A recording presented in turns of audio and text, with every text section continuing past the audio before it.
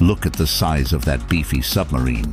This is the Napoleon fish, a refrigerator with lips, wearing a helmet it outgrew three promotions ago. That forehead bump? It's not a brain upgrade, it's just a vibe.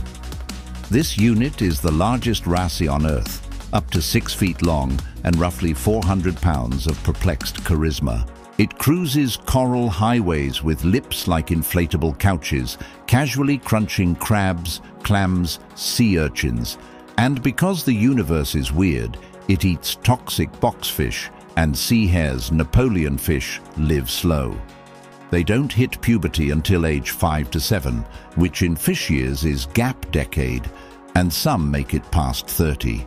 They're oddly chill with divers. Some individuals become local celebrities, and scientists can now use facial recognition on their freckles and wrinkles to track them.